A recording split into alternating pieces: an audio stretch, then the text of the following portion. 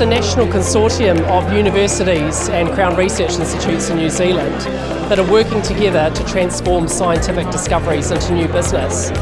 So what that basically means is we've got all of these organisations that are probably competing for students and research funding and they're actually working together to commercialise the best possible research discoveries with commercial promise to maximise benefit for New Zealand. We're here tonight to celebrate the success of the Emerging Innovator Program and to thank the Norman F. Barry Foundation for their enabling financial support.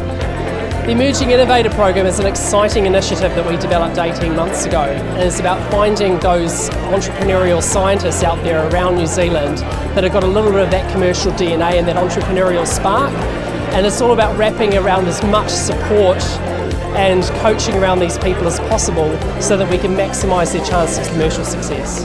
As the trustees, we're absolutely delighted about uh, the uh, success that's gone on here. Very impressed, very great.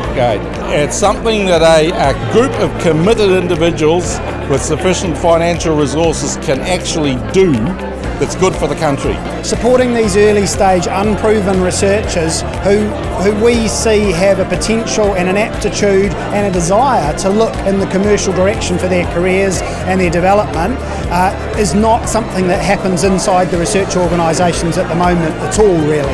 So that's really unique and some of the results we've seen are, are just fantastic. Kiwi science and innovation plays an absolute central role in our future prosperity as a country. There's huge economic opportunity for us in that and science sits right at the centre of it.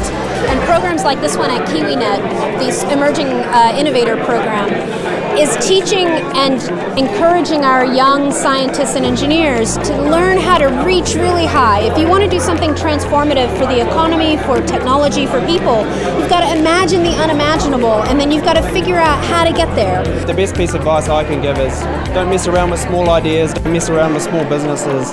Uh, go, go big and go after the big problems and build the big companies. For a lot of people, that's the hardest thing to get over. The fact that to succeed, you have to fail sometimes. So and I've failed a lot along the way, but from that we've learnt a lot, and now, now we're at the tipping point. We needed to get a piece of data to um, exemplify our patents, and this funding enabled me to fund some crucial people to do that work.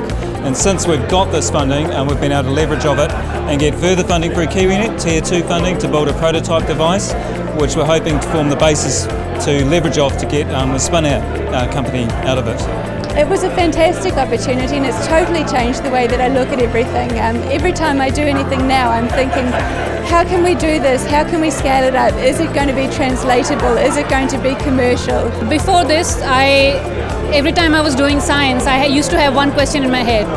Is this an interesting question to find an answer to? And that used to be my motivation for digging further in. But after this program, the question I ask is, uh, is this important? Is this relevant? How can I, will I be able to apply this into the future and change and impact people's lives with it? So the questions, the motivations have changed. The KiwiNet Emerging Innovator Program really opened the door for me to, to move out of academic, scientific, basic, fundamental research into applying some of my work into the real world and, and making a, a, a difference. But as a researcher, it feels really good to get my science into market because um, I feel like I'm having an impact on the world.